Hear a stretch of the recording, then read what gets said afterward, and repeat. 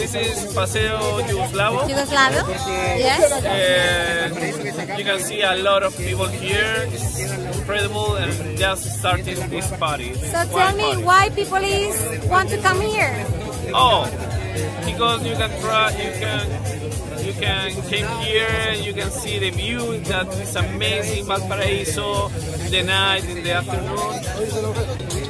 You can came here and try a lot of different wines, different types, styles of, of wine making. Uh, you can try this year. We have a lot of chef, very good astronomy.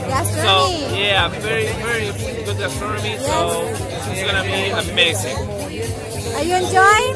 Oh my god, yes, I'm enjoying a lot. Everything about wine is totally enjoyable. Yeah, everything about wine, everything. That's So- great. Thank you. Okay, bye.